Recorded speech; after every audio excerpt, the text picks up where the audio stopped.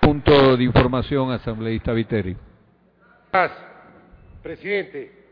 Por primera vez en la historia, como usted como asambleísta, porque antes compartíamos muchísimos criterios cuando era otro el arquitecto Cordero, alcalde de Cuenca, y este servidor era presidente de AMI, compartimos muchos criterios, pero ya en la constituyente, en el congresillo, y ahora es la primera vez que comparto un criterio. Es inadmisible que ustedes acoliten que ese sinvergüenza de Poli vuelva a ser Contralor. Usted lo ha dicho, es inadmisible. Gracias, Cordero.